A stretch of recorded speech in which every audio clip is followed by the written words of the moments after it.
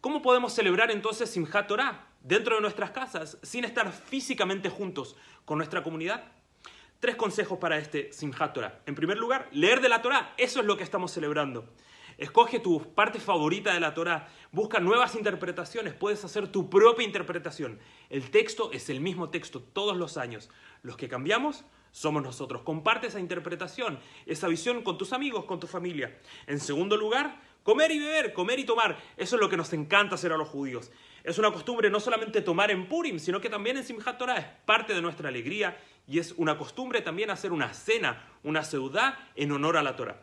Y en tercer lugar, simplemente ser felices, regocijarnos y alegrarnos en esta festividad. Simchat Torah es la continuación de la fiesta de Sukkot. Una festividad en, la que una de las principales mitzvot es simplemente ser felices, regocijarnos y alegrarnos en esta festividad. Entonces, también estudiar, también comer y tomar, y por supuesto, ser así felices. Hag.